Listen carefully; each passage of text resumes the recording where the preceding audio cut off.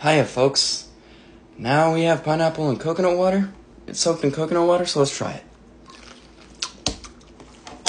Oh, explosion in my mouth.